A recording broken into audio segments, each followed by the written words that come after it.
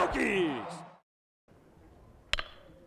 Handle shot, and this could be problematic as well. Jack Owens airborne to finally help Howard get through the fourth.